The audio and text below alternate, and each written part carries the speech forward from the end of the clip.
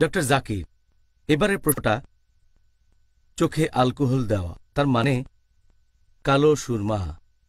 আমরা জানি এটা একটা সুন্নত। আমাদের নবী মোহাম্মদ সাল্লাহ সাল্লামের একটি সুন্নত, আল্লাহ তাকে শান্তিতে রাখুন। আর রোজা অবস্থায় চোখে অ্যালকোহল দেওয়ার অনুমতি কি আছে?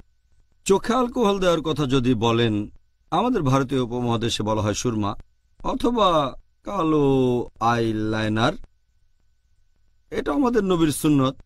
আর আমরা একটা হাদিস থেকে পাই যে হজরত আনাস রাদি আল্লাহানহ নবীর সাথে থাকতেন, তার খাবার রান্না করতেন, আর তিনি চোখে অ্যালকোহল দিতেন। নবী কখনোই তাকে বারণ করেননি।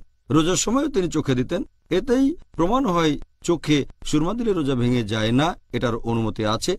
আর এছাড়াও যদি ব্যবহার করেন কোনো আই ড্রপ বা ইয়ার ড্রপ যদি সেই চোখের ড্রপ বা কানের ড্রপ বেশ কিছুক্ষণ পরে গলার কাছে স্বাদ অনুভব করেন, বেশিরভাগ বিশেষজ্ঞ বলেন এতে রোজা ভেঙে যাবে না।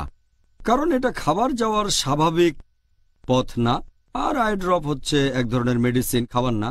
আবার অনেক সময় নাক, কান আর গলা একসাথে দেখা হয়। এটাকে তখন বলা হয় ENT ENT ear nose throat তাহলে যদি চোখের ড্রপ দেন বা কানের ড্রপ দেন অথবা নাকের ড্রপ দেন সেখানে সম্ভাবনা থাকে কিছুক্ষণ পরে গলায় চলে যাবে। তাহলে ওষুধের স্বাদটাও পাবেন। নাকের ড্রপ হলে বাইরে ফেলে দেবেন। তবে কান আর চোখের ড্রপ যদি গলায় চলে যায়, বেশিরভাগ বিশেষজ্ঞ বলেন এতে করে রোজা ভাঙবে না। তবে কিছু বিশেষজ্ঞ বলেন সেটা যদি গলায় চলে যায়, তাহলে রোজা ভেঙে যাবে। তবে সঠিক নিয়ম হচ্ছে, যেহেতু এটা খাবার বা পানীয় যাওয়ার স্বাভাবিক পথ না, সেজন্য বেশিরভাগ বিশেষজ্ঞই বলেন, এতে আপনার রোজা ভাঙবে না।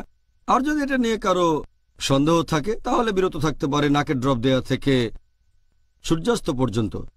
তাহলে তো পুরোপুরি সেফ তবে সঠিক নিয়ম হচ্ছে নাক অথবা কানে ড্রপ ব্যবহার করলে আপনার রোজা ভেঙে যাবে না।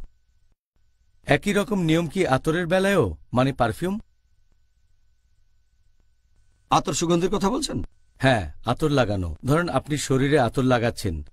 রোজার মধ্যে বা শুরু করার আগে। এখানেও কি নিয়মটা এক? যদি কোনো সুগন্ধি লাগিয়ে সেটার গন্ধ নেন এতে কোনো সমস্যা নেই। পারফিউমের গন্ধ নেওয়ার অনুমতি আছে যে কোনো পারফিউম।